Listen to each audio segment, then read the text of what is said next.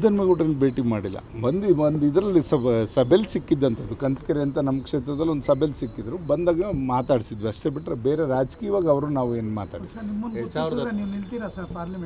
ನಾನು ನಮ್ಮ ಪಕ್ಷ ಏನು ತೀರ್ಮಾನ ಮಾಡಿದ್ರು ಅದಕ್ಕೆ ಬದ್ಧವಾಗಿರ್ತೀನಿ ಅಂತ ಹೇಳಿದೆ. ಖಂಡಿತ. ನಾವು ಪಕ್ಷ ನಾನು ನಿಲ್ಲು ಅಂದರೆ ನಿಲ್ತೀನಿ. ನಿಲ್ಬೇಡ ಅಂದರೆ ನಿಲ್ಲಲ್ಲ. ಅದು ನಾವು ನಾವು ಒಂದು ಸಿದ್ಧಾಂತ ಇಟ್ಕೊಂಡಿದ್ದೀವಿ ಸರ್. ಅದು ನಮ್ಮ ಜನತಾದಳದಲ್ಲಿ ಏನು ವರಿಷ್ಠ ಹೇಳ್ತಾರೋ ಅದಕ್ಕೆ ನಾವು ಬದ್ಧವಾಗಿರ್ತೀವಿ. ಎರಡು ಸಾವಿರದ ಹತ್ತೊಂಬತ್ತರಲ್ಲಿ ಲೋಕಸಭಾ ಚುನಾವಣೆಯಲ್ಲಿ ತುಮಕೂರಿಂದ ನಿಲ್ಲಿಸಿ ಸೋತಿರ್ತಕ್ಕಂಥ ನೋವು ಇವತ್ತು ಕೂಡ ಜೆ ಡಿ ಎಸ್ ನಮಗೆಲ್ಲ.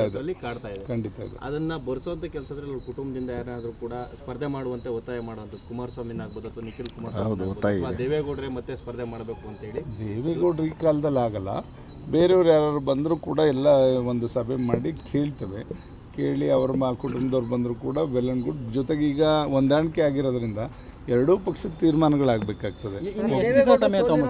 ಮೋಸ್ಟ್ಲಿ ಇನ್ನೊಂದು ವಾರ ಹದಿನೈದು ದಿವಸದಲ್ಲಿ ಮೊ ಎಲ್ಲ ಕಂಪ್ಲೀಟ್ ಆಗ್ತದೆ. ಯಾಕೆಂದರೆ ನೆಕ್ಸ್ಟ್ ಮುಂದಿನ ತಿಂಗಳು ನೀತಿ ಸಮಿತಿ ಬರೋದ್ರಿಂದ ಎಲ್ಲರೂ ಕೂಡ ಗರಿಗೆದ್ರಿ ಕೆಲಸ ಮಾಡಲೇಬೇಕಾಗ್ತದೆ ಎಲ್ಲ ಪಕ್ಷದವರು ಖಂಡಿತ ಮಾಡ್ತಾರೆ. ಈಗ ದೇವೇಗೌಡರು ಸೋಲಿಸಿರೋ ನೋವು ಇದೆಯಲ್ಲ ಅದು ಈಗ ಎಫೆಕ್ಟ್ ಬೀಳಲ್ವಾ? ಈ ಎಲೆಕ್ಷನ್ ಖಂಡಿತ ಆಗುತ್ತೆ ಖಂಡಿತ ಆಗುತ್ತೆ. ಆಗಿರ ಆಗಿರ್ತಕ್ಕಂಥ ಒಂದು ನೋವು ಇನ್ನೂ ಕೂಡ ನಾವು ಜೀರ್ಣಿಸ್ಕೊಳ್ಳೋಕ್ಕೆ ಸಾಧ್ಯ ಇಲ್ಲ. ಅಂತ ಮುತ್ಸ ದಿನ ರಾಷ್ಟ್ರ ಕಂಡಂಥವ್ರನ್ನ ನಾವು ಇಲ್ಲಿ ಸೋಲ್ಸ್ ಕಳಿಸ್ತವಲ್ಲ ಅಂತ ನೋವು ನಮ್ಮ ಪಕ್ಷದವ್ರಿಗೆ ಎಲ್ಲರಿಗೂ ಕೂಡ ಇದೆ. ಅದನ್ನ ಅದನ್ನ ಸರಿದೂಗಿಸ್ ಯಾರು ಅಂತಲ್ಲ. ಅದು ಬಿ ಜೆ ಪಿಯವರು ಮತ್ತೊಬ್ಬರು ಬಿ ಜೆ ಪಿಯವರು ಅಂತಲ್ಲ ಬಿ ಜೆ ಪಿ ಅಲ್ಲ ಪಾರ್ಟಿ ಚುನಾವಣೆಯಲ್ಲಿ ಪಕ್ಷಗಳು ನಿಂತಿರ್ತದೆ. ಯಾರು ಒಳಗೆ ಎಲ್ಲಿ ಮೋಸ ಆಗಿದೆ ಅಂತಕ್ಕಂಥದ್ದು ಅರ್ಥ ಅವೆಲ್ಲ ಸರಿಪಡಿಸ್ಕೊಂಡು ಮುಂದೆ ನಮ್ಮ ಅಭ್ಯರ್ಥಿ ಯಾರಾಗ್ತಾರೋ ಅವ್ರಿಗೆ ಗೆಲ್ಸೋ ನಿಟ್ಟಿನಲ್ಲಿ ನಾವು ಕಾರ್ಯಕ್ರಮ ಸೋಲು ಅದು ಯಾವುದರಿಂದ ಅಂತಕ್ಕಂಥದ್ದು ವಿಶ್ಲೇಷಣೆ ಆಗಬೇಕಾಗ್ತದೆ. ಅದು ಆತ್ಮಾವಲೋಕನ ಎಲ್ಲ ಕೂಡ ಮಾಡ್ಕೊಂಡಿದ್ದೀವಿ.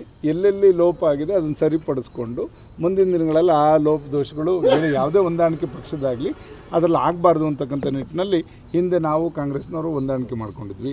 ಆ ಸಂದರ್ಭದಲ್ಲಿ ಈ ವ್ಯತ್ಯಾಸಗಳಾಗಿದೆ.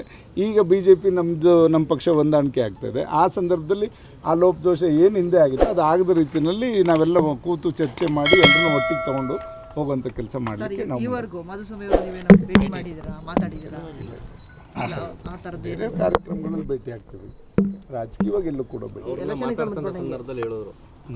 ನಮ್ಮ ನೇರ ನೇರ ಇದ್ದಿದ್ದು ಜೆ ಡಿ ಎಸ್ ಮತ್ತು ಬಿಜೆಪಿ ಆದ್ರೂ ಕೂಡ ನಾವು ಹೊಂದಾಣಿಕೆ ಮಾಡ್ಕೊಂಡು ಹೋಗ್ತೀವಿ ಅಂತ. ನಮ್ಮಲ್ಲಿ ಅದೇ ನಾನು ಹೇಳಿದ್ನಲ್ಲ ನಮ್ಮ ಪಕ್ಷದ ಸಿದ್ಧಾಂತ ನಾವು. ನಾವು ಅದಕ್ಕೆ ಬದ್ಧವಾಗಿದ್ದೇವೆ.